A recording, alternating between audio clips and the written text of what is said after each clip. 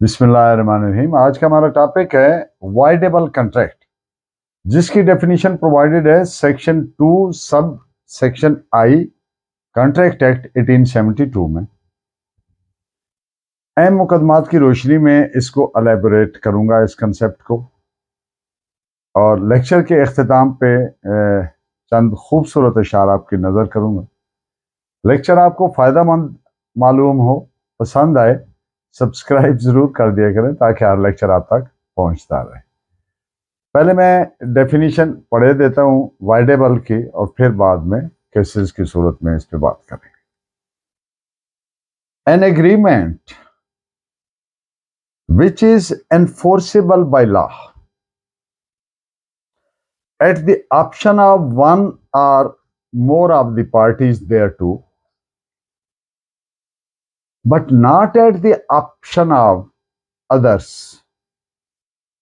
is voidable contract.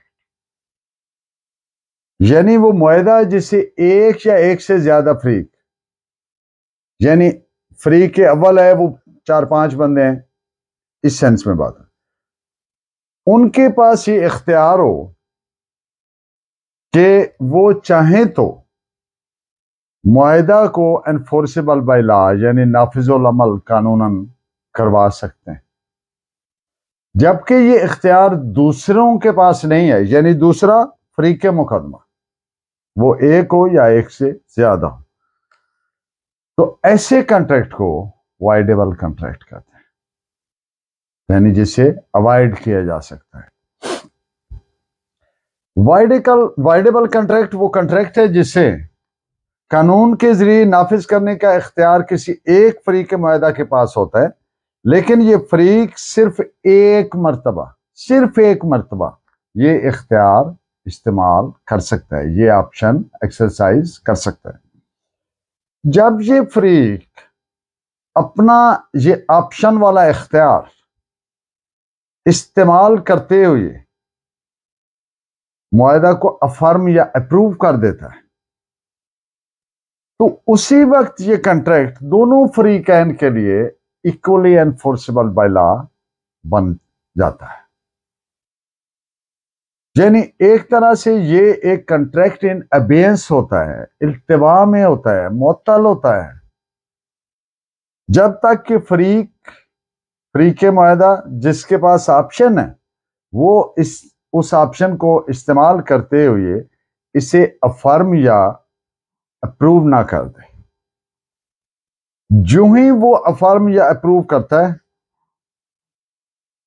اسی وقت یہ ایک فل فلائٹ کانٹریکٹ بن جاتا ہے۔ ان پوائنٹس پہ آپ ایک ججمنٹ بطور ریفرنس نوٹ فرمائیے۔ P L D nineteen fifty six Lahore page nine one six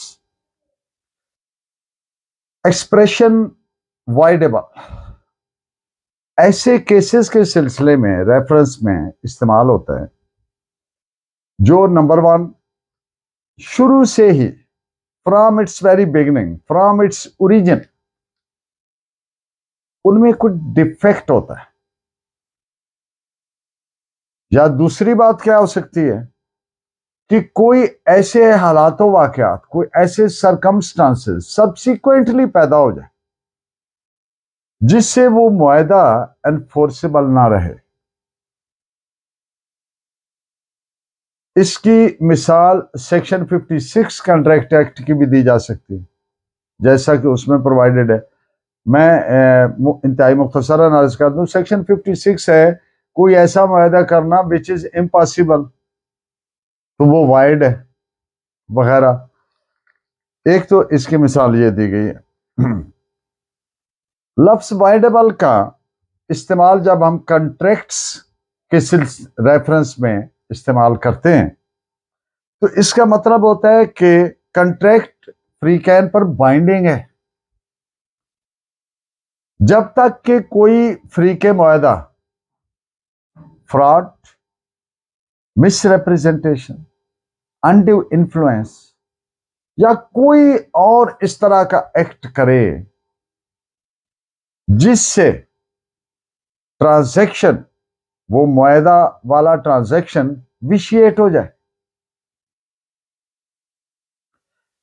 جن سے اس، جو ہی ایسا کوئی ایکٹ ہوگا ایک فریق معاہدہ کی طرف سے، تو پھر دوسرے فریق معاہدہ کے پاس آپشن آ جاتا ہے کہ وہ چاہے تو اس کو اوائڈ کر دے، چاہے تو اس کو افرم یا اپروو کر دے۔ یہاں پر ایک مثال میں دے دیتا ہوں، یہ جو مقدمہ میں رکھ رہا ہوں، یہ اس سے ہٹ کے۔ اس مقدمہ کو آپ نوٹ کر لیں reference A I R nineteen twenty eight Madras page nine eight six مثال کے طور پر، ایک فریق نے کوئی مال سپلائی کرنا تھا، دوسرے فریق کو، اور یہ معاہدہ ہو گیا اے اور بی کے درمیان۔ اے نے مائل، جو مال سپلائی کرنا تھا وہ مال سپلائی کیا۔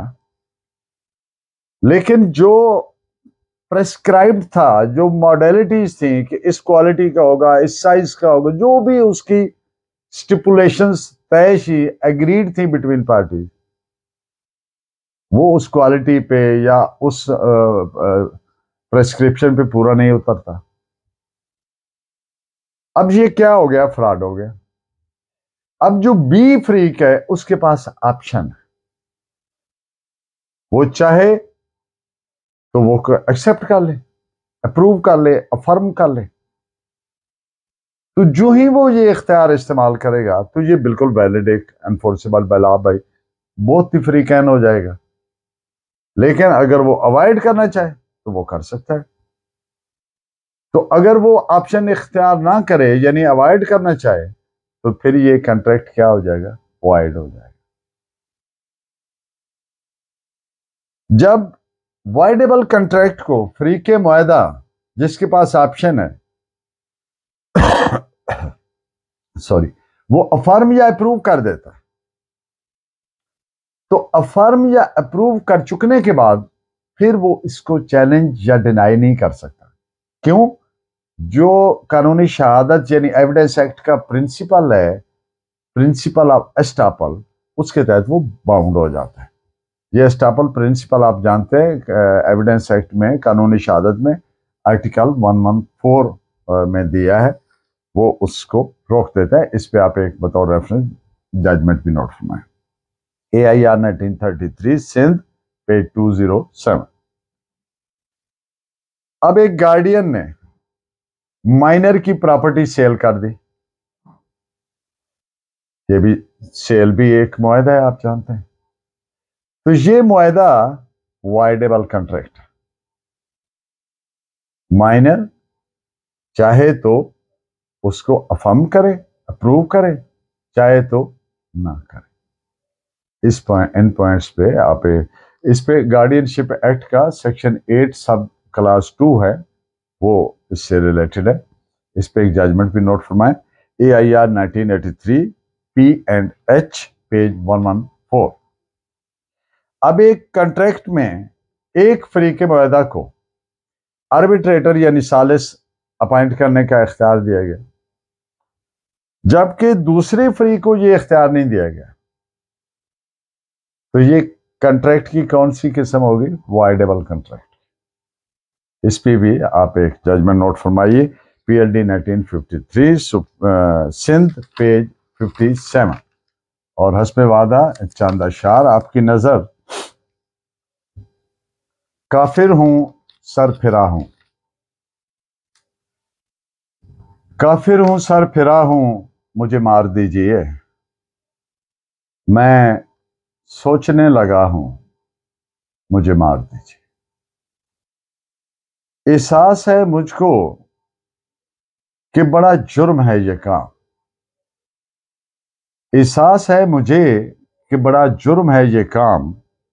میں خواب دیکھتا ہوں۔ مجھے مار دیجیے۔